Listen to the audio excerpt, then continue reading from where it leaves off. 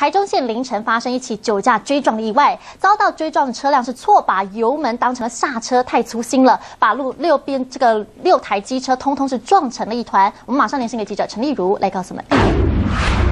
好，是的，主播观众朋友，你可以看到这辆车整个车头都被撞毁了、撞凹了，还有呢，这个连路旁的这个机车也全部都被撞烂了。这是发生在凌晨左右，有一名男子因为喝了酒还开车，结果呢，他追撞前方的一辆轿车哦。那么前方这辆轿车的这个驾驶呢，因为一时紧张被撞了，而且还错把油门当成了刹车，结果呢，在猛踩油门的情况之下呢，呃，还追撞了一旁路边的六台机车，造成整。起连环撞的一个状况，我们来看看现场整个被撞的这个车主是怎么说的。是为后壁甲追撞的，我就走去头前去啊！啊，我来伊台可能是要走的款，你听无，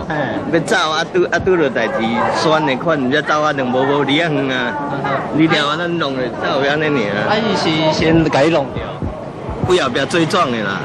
因为当时还有很多民众在外面吃宵夜哦，所以呢，许多目击民众看到整个连环撞的意外，可以说是吓坏了。那么被追撞的车主说呢，啊，撞人的这个疑似酒驾的男子呢，在整个车祸追撞之后，疑似还想逃跑，结果呢，一时紧张又撞到了路边的另外一台车，才停下来哦。还好呢，被波及的六台机车，当时车主都没有在这个附近哦，而六台机车只是停在路边，也因此呢，整个连环撞的意外是没有人员受伤的。这是我们在现场为您掌握的情形，把镜头交还给彭内。